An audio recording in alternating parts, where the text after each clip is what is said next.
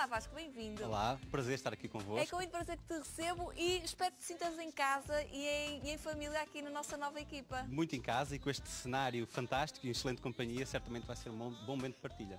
Olha Vasco, vou tratar por tu, porque tu vens todas as semanas e, e vamos ser uh, uh, mais do que apenas uh, colegas de trabalho, tenho a certeza disso. Portanto, queria só, antes de começarmos a falar, porque hoje o tema interessa a todos aqueles que gostam de redes sociais e hoje vamos falar do que é novo e do que há de novo no Facebook, que eh, podia ser um tema semanal, porque há sempre coisas há novas, sempre. não é? É verdade. No Facebook.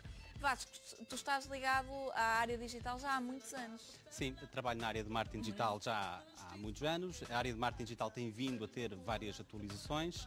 Especialmente há cinco anos para cá ganhou ainda mais maturidade, especialmente com as redes sociais, com o mobile, com o vídeo.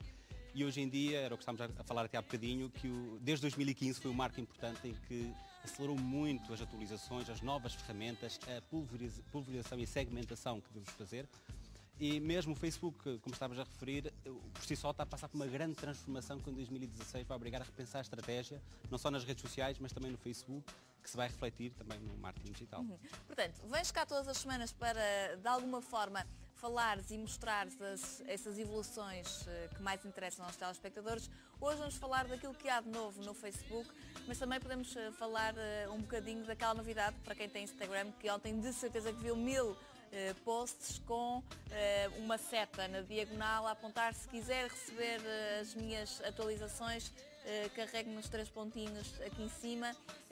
surpreendeu muitas pessoas e causou também algumas dúvidas. Sim, é, é curioso que estava-me a lembrar, há algum tempo atrás aconteceu algo parecido no Facebook que possibilitou também uh, as pessoas poderem uh, ativar uma opção para serem notificadas sempre que uma página publica conteúdos. Uhum. Também nessa altura surgiram essas imagens para, para além de eu ver no feed de notícias, poder ser notificado sempre que uma página publica algo de novo.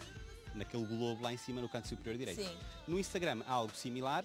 Eu posso ir a um perfil ou uma conta do Instagram. No Instagram só existe um tipo de conta, para pessoas e para empresas, em que eu posso uh, ativar para ser notificado. O que é que acontece? De acordo com outras notificações que eu recebo, os comentários, etc., Uh, também vou ser notificado sempre que aquela conta publicar novos conteúdos, o que é bom, portanto, para mim, para consumir conteúdos e para as marcas, também para terem atenção em ter uma estratégia de conteúdos interessantes para os seus seguidores, que é o que acontece muito no Instagram. Facebook, novidades. Eh, há pouco estavas a referir que de facto 2015 eh, foi um ano marcante para, para o Facebook, 2016 com certeza também o será, mas que, eh, que novidades podemos dar desta rede social? Olha, há muitas. Vamos falar de algumas hoje, certamente outras vamos deixar para outro uhum. programa, porque são mesmo muitas e há outras que estão a acontecer, que estão a ser libertadas uh, em, em várias páginas. Isto vai ter um círculo que está a ser fechado pelo Facebook para trazer tudo para dentro do Facebook. Quer isto dizer que nós temos que repensar como é que estamos lá, mas por outro lado também nunca devemos depender de um meio uh, digital só, devemos diversificar. Ou seja, eu quero pesar aqui nas duas balanças as duas uhum. coisas. Então, algumas novidades importantes recentes. Uma delas é o Facebook Live. Ou seja, já é possível eu poder fazer transmissões em direto de perfis e páginas de Facebook através do smartphone, só através do smartphone. Portanto, através do smartphone ou do tablet, eu entro em direto onde quer que eu esteja. Vantagens. Uh, produzo vídeo muito facilmente e consigo chegar a uma grande audiência. O algoritmo do Facebook vai dar prioridade a este tipo de conteúdos. E percebe-se porquê? Primeiro porque é vídeo e segundo porque é em direto. Ora, se é em direto, ele tem que dar prioridade para ser entregue no okay, feed para então, ser consumido. por exemplo, imagina, a minha equipe, nós temos uma página do Olá Maria de Facebook e eu podia entrar agora em direto para o Facebook. Excelente ideia.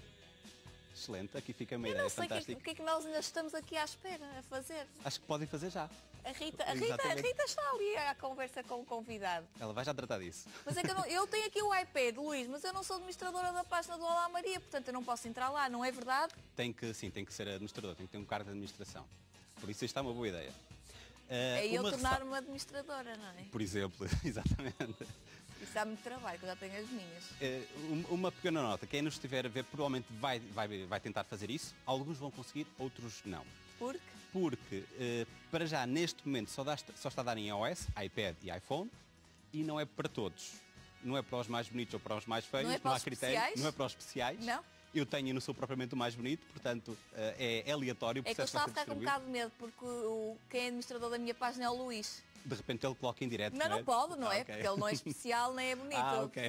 Estava a ficar um bocado preocupado. Não é, não é esse o critério. Hum, acho que não. Pronto, Acho que não. bem. Fico bem. Portanto, quem nos está a ver, o que é que pode tentar? Vai à aplicação, uh, o gestor de páginas de Facebook, não dá na aplicação normal de Facebook, o gestor de páginas, uh, vai à opção de fazer uma publicação, que é a primeira opção, e vai aparecer vários ícones. O último ícone é um bonequinho com duas riscas.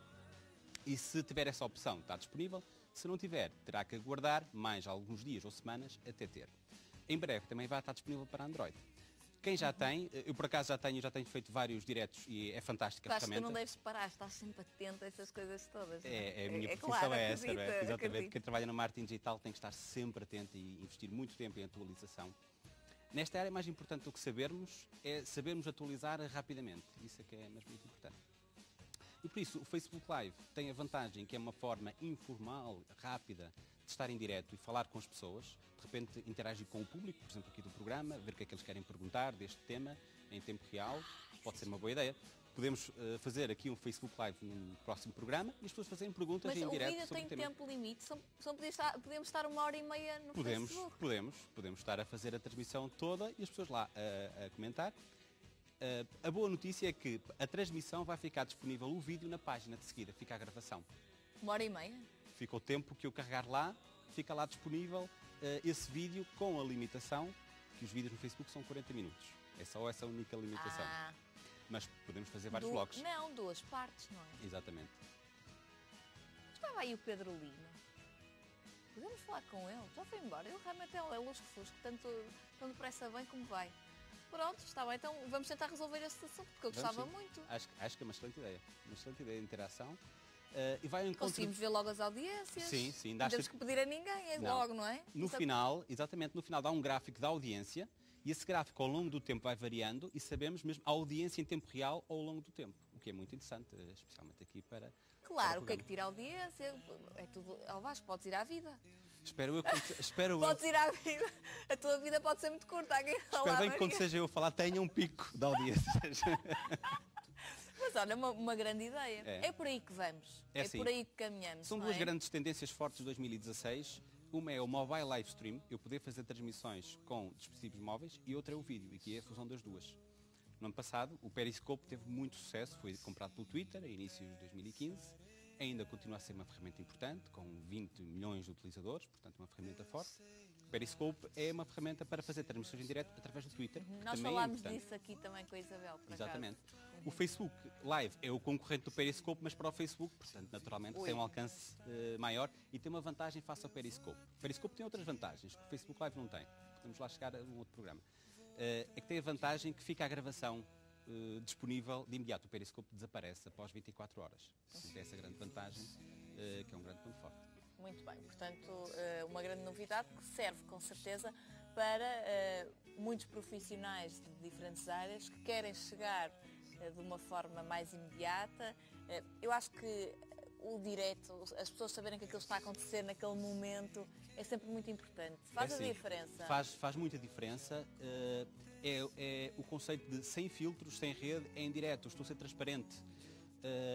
por oposição aos conteúdos que nós fabricamos sim, para as sim, redes sociais, sim, artificiais, que as pessoas já não consomem esses conteúdos.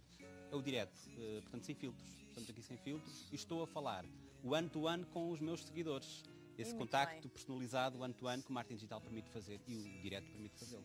Muito bem, portanto deixamos aqui essa novidade. Há mais, Vasco? Muitas. Uh, outra, outra muito importante, muito pedida pelas marcas, Facebook Multilanguage. Agora já é possível eu fazer uma publicação no Facebook uh, e poder estar lá em vários idiomas. Ou seja, até aqui víamos muito no Facebook, publicavam, por exemplo, português em cima e inglês em baixo. Sim. Havia um truque para segmentar, que era a solução melhor, mas agora essa ferramenta eu coloco português, inglês, francês, alemão, os idiomas todos, em campos diferentes, carrego o post e o Facebook automaticamente distribui a peça de conteúdo para os filhos que falam aqueles idiomas. Portanto, especialmente para o setor do turismo, mas também para a área de serviços ou está quase qualquer negócio no mercado do mundo. Está muito, muito, muito está, mesmo. Não está? Muito, sim, mas vem a melhor parte. Então. Vem uma novidade mais interessante. Para além dessa multilanguage, já agora só uma nota, por definição está desativado.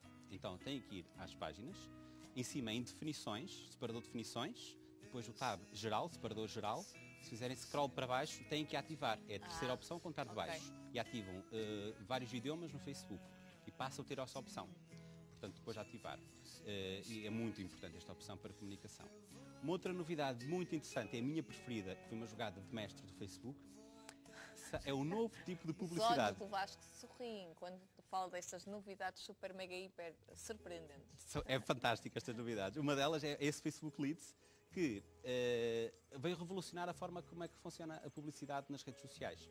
Até agora, nós vemos o anúncio no Facebook, clico no anúncio Sim. e vou ter uma página onde tenho o produto ou o serviço em que eu posso comprar, ver mais informações, enfim, vejo informação. Mas tem que ir a um site externo. O que é que acontece? Durante esse clique, seja no mobile ou no computador, há ali um tempo de espera uh, e é um clique. Portanto, é uma barreira. tem que dar mais um clique. Esta publicidade funciona igual é a que tínhamos até agora, que é tenho um anúncio, mas ao tocar aparece um formulário com os meus dados preenchidos. O Facebook já sabe o meu nome, o meu e-mail e muito mais. Mais do que aquilo que eu penso até. Mas o nome e o e-mail sabe e outros campos dá para ele ir buscar. Então aparece um formulário preenchido, só tenho que carregar no botão enviar e já fiz o pedido de informação do produto ou a reserva num evento, numa formação, etc. Tudo dentro do Facebook, sem sair do Facebook. E é aqui que começa o tal círculo que o Facebook está a fechar, a trazer tudo para dentro do Facebook. Pois. E depois há aquelas. Tipo, a minha avó, filha, eles sabem tudo sobre Sabe nós. tudo, exatamente. E é mesmo, é assustador isso. E esta publicidade tem uma outra particularidade. Dá que para é? criar uma micropágina entre o anúncio e o formulário. Imaginem, por exemplo, o Porto Canal vai organizar um grande evento. Então tem uma micropágina que dá um bocadinho mais de informação, como se fosse uma espécie de uma página no Sim. site, mas em miniatura no, no Facebook que dá informação intermediária antes da pessoa uh, submeter os dados. Portanto, tem essa opção.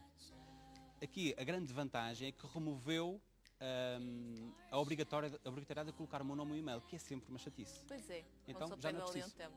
Faltava isto. Isto não é novo, o Twitter já lançou isto há dois anos, Twitter Cards, mas passou despercebido, ninguém falou nisso. Uhum. O Facebook fez de uma forma, uh, diria, mais massiva e vai ter imenso sucesso. Já experimentei esta função, traz imensas conversões, é uma ferramenta mesmo muito poderosa.